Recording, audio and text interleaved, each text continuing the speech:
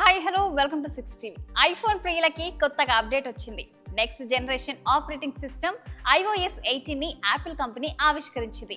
సోమవారం జరిగిన company world wide developer conference రెండు వేల ఇరవై నాలుగులో దీనిని విడుదల చేసింది. ఈ కొత్త ఐఓఎస్లో పలు ఆకర్షణీయమైన నూతన ఫీచర్లున్నాయి home screen customisation control centre reward మెసేజ్ల యాప్కి అప్డేట్స్ ట్యాప్ టు క్యాష్తో పాటు ఇతర ఫీచర్లు ఈ జాబితాలో ఉన్నాయి. ఐఓఎస్ ఎయిటీన్ ద్వారా యాపిల్కి కొన్ని అదిరిపోయే ఫీచర్లు అయితే అందించింది. థీమింగ్స్ ఆప్షన్ల ద్వారా యాపిల్ ఐకాన్లను హోమ్ స్క్రీన్ పై నచ్చిన విధంగా మార్చుకోవచ్చు. డార్క్ మోడ్లో యూజర్లు తమకు నచ్చిన విధంగా యాప్లను మార్చుకోవచ్చు. లేత రంగు చేయడానికి మిమ్మల్ని అనుమతిస్తుంది. ఇక మల్టిపుల్ లేఅవుట్లు చేసుకునేందుకు వీలుగా కంట్రోల్ సెంటర్ ఫీచర్ అప్డేట్ను యాపిల్ అందించింది. కంట్రోల్ సెంటర్కు అవసరమైన విభిన్న లేఅవుట్ వీజెట్ల కోసం థర్డ్ పార్టీ డెవలపర్స్ అనుమతి కూడా ఉంటుంది. ఇక ఫ్లాష్ లైట్ కెమెరా ఐకాన్లను లాక్ స్క్రీన్ పైకి తీసుకోవచ్చు.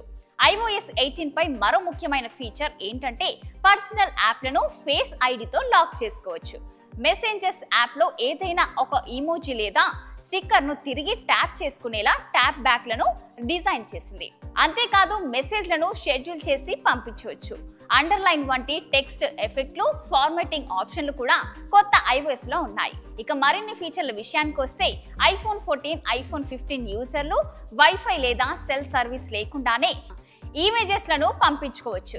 ఇక శాటిలైట్ ద్వారా ఈ లేటెస్ట్ సేవలను పొందవచ్చు.